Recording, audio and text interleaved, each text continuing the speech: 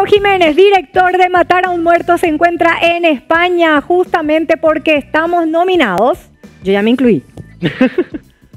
Buen día, Hugo, ¿cómo estás? Buen día. Ahora perfecto, bien ahí. ahora? Ahora sí, perfecto, Hugo. ¿Hace cuánto están ahí? ¿Qué tal? ¿Se augura que vamos a ganar algo?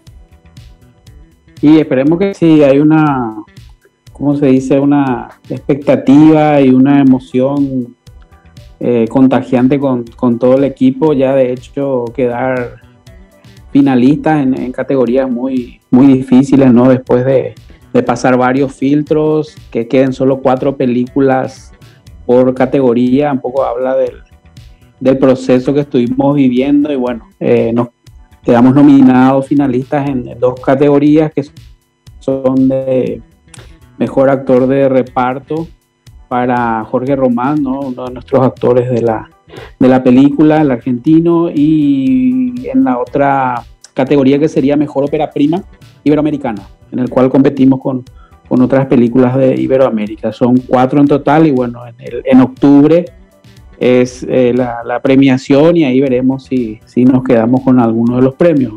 Como director, Hugo, vos cuando ya ibas grabando, ¿te dabas cuenta ya de que esto era algo fuera de serie, algo espectacular? ¿O al ver el terminado recién dijiste, qué bien que salió? Bueno, de hecho, de pasar de, algo que, es una idea primero, ¿no? Y que después pasa al papel, ¿no? En un guion y, que va concentrando gente, emociones, ideas, eh, que la película crece a medida que, que, se desarrolla, ¿no? Fueron cuatro años de, proceso antes de llegar a la grabación, entonces imagínate el montón de, gente y de profesionales que estuvieron ayudando, apoyando de una u otra manera.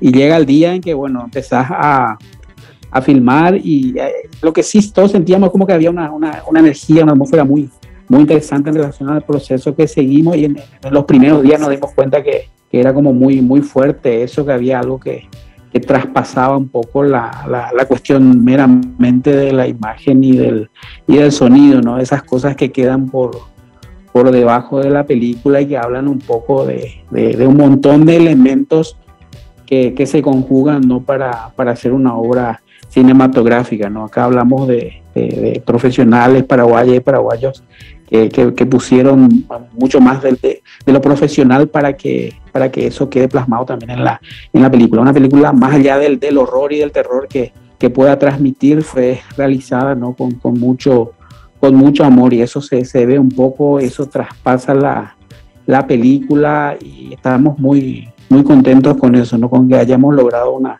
una obra que primero nos, nos gusta también a nosotros, ¿no? que, que se vea bien, que suene bien. Lastimosamente la, la pandemia obligó a que, que, no podamos seguir en salas de cine, pero estamos ahí viendo, ¿no? A ver si podemos cerrar ese círculo cuando mejore un poco la, la cuestión sanitaria también, ¿no? Y, así estamos, ¿no? O sea, y recorriendo algunos festivales y nominados aquí y allá, de repente en, en algunos premios, como para seguir manteniendo viva también la llama de la, de la película, pues son tiempos como muy difíciles para el sector cultural en general, entonces que, de una u otra manera se puedan dar estas instancias en que la película eh, siga viva de alguna manera, ¿no? Eh, nos llena también de, de alegría. Hugo, ¿cuál fue el mayor desafío al momento de grabar la película? Bueno, desafíos hay como muchos, ¿no? Eh, siempre cito un poco a un director francés que se llama Robert Bresson, que dice, eh, dirigirse es dirigirse eh, ante, primero uno mismo, o sea que hay una cuestión de, trabajar con, uno mismo, yo creo que eso es lo más complicado siempre, a veces lidiar con uno mismo y, y y en, en relación a, a, un montón de gente, porque yo vengo también del documental donde se trabaja con, con menos cuestiones más eh, íntimas, pequeñas, y de repente pasar a un equipo grande eh, para, para, lo que es Paraguay. O sea, hablamos de una producción en general latinoamericana pequeña que, que como, como mucho de repente, ¿no? Y, y, eso también, ¿no? Que, y que, que lidiar con, con, con, un montón de cosas y ver qué, de eso eh, eh, aporta la película y cómo se va transformando, porque al final el cine también es un trabajo colectivo y seguir un poco las, las intuiciones ¿no? en relación a, a las cosas que van saliendo bien, pero siempre el mayor desafío es uno con uno mismo, creo, controlarse, mantener viva la, el, alma de la película, por decirlo de alguna manera. Hay un montón de cosas que pueden mutar, cambiar, mejorarse en, la, en el rodaje, en la postproducción, en algunos momentos de la escritura del guion también.